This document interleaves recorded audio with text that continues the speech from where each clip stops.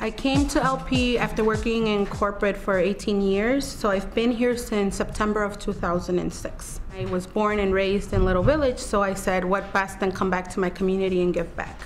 I learned very quickly that Latinos Progresando is in the community and is for the community, 100%.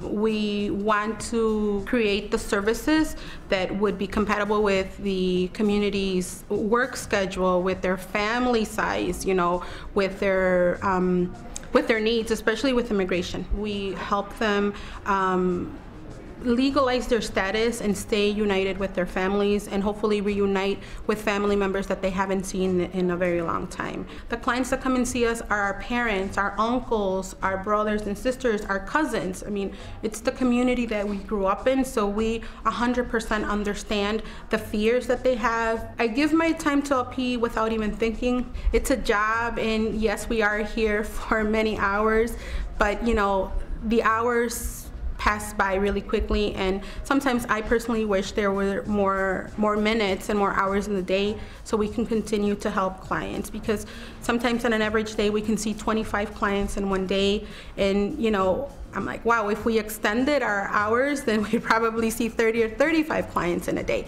So you know I think that that's why I do it because I know that it's something that is needed in the community and I'm making a difference. Your donation will be part of, again, that life-changing experience for the client. It's going to be something that's going to be for a lifetime for them. It's not something that's just short-term, it's a long-term effect that your money is going to have on the clients that we serve.